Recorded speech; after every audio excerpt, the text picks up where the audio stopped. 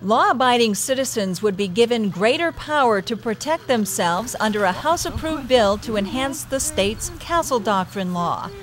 Under current law, citizens have a right to use deadly force to protect themselves in their home. The new law would broaden that right to include one's property, vehicle, or any place an individual has a right to be. Pennsylvania, right now, you have this duty to retreat. So you have to literally, as you're being attacked, think, well, can I get away quickly? And, and those are critical moments where your life might be lost. And we're saying, if you're a law abiding citizen, you should be able to choose to defend yourself. But there are important exceptions. The citizen using lethal force would have to demonstrate a reasonable belief that he or she is in imminent danger.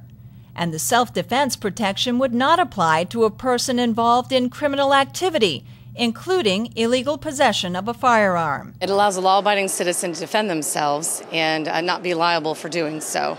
Um, people have been asking this for many years. I think it makes them feel safer uh, and it makes them feel confident enough to defend themselves.